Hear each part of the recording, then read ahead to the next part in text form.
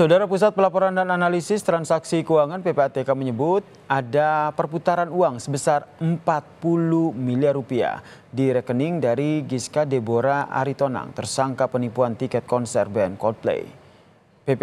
PPATK Saudara telah memblokir rekening dari Gisa sejak hari Minggu lalu saudara. Tercatat hingga bulan November atau periode awal pembelian tiket konser Coldplay ada transaksi senilai 30 miliar rupiah dari total 40 miliar rupiah di rekening tersangka. PPATK pun menghimbau masyarakat untuk lebih berhati-hati agar kejadian serupa tidak terulang. Kasus ini sudah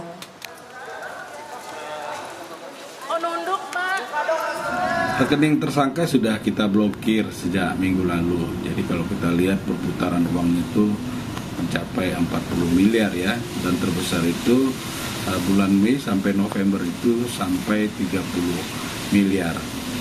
Kami berharap masyarakat untuk berhati-hati, tidak mudah percaya ya. Karena kasus-kasus seperti ini akan kerap terjadi dengan casing yang berbeda-beda. Untuk itu teruslah berhati-hati, jangan sampai uh, kita ketipu ya.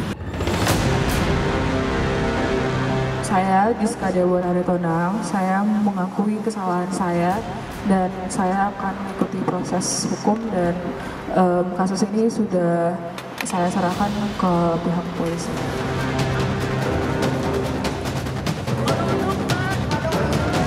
Polres Metro Jakarta Pusat menangkap pelaku penipuan tiket konser Coldplay bernama Giska Deborah yang masih berstatus mahasiswi. Polisi menyita sejumlah barang bukti mulai dari tas, sepatu, dan sandal impor senilai ratusan juta rupiah yang didapat dari hasil penipuan penjualan tiket Coldplay. Modus tersangka mengiming-imingi para korban yang merupakan para reseller untuk memudahkan mendapat tiket konser Coldplay. Namun sampai hari H, para reseller tak kunjung mendapatkan tiketnya. Kemudian GDA ini menawarkan kepada teman-temannya sebagai reseller ya, dengan dalih bahwa tiket tersebut adalah tiket komplimen. Tiket komplimen ya, yang dijanjikan akan dapat menjelang pelaksanaan konser.